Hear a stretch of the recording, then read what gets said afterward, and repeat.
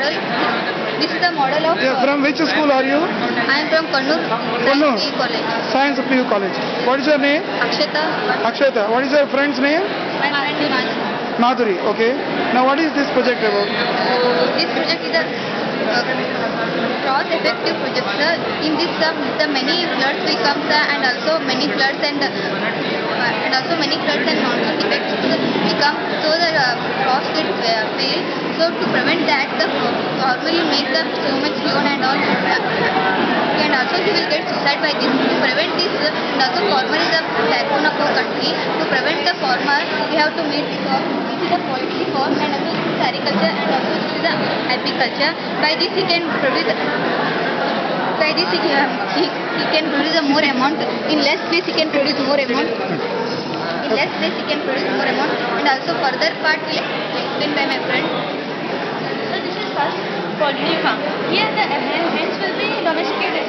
Here the eggs hatched by the hens will be collected and they are sold. Sir. By that the farmer can get profit.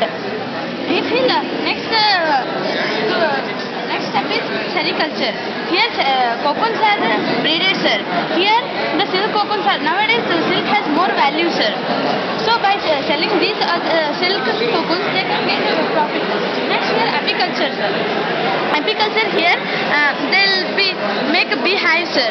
By uh, collecting the beehives honey, they'll uh, sell, sir. Here now we have done uh, water harvesting, sir. So here it will connect. Connected to uh, aquarium. Here the fish will be there, sir. By that fish can survive. This is called piscic- uh, pisciculture, sir. Now in uh, fish there will be liver. Uh, the liver is uh, acted as a medicine, sir. This medicine uh, is very important. This medicine is used in many uh, medical, sir.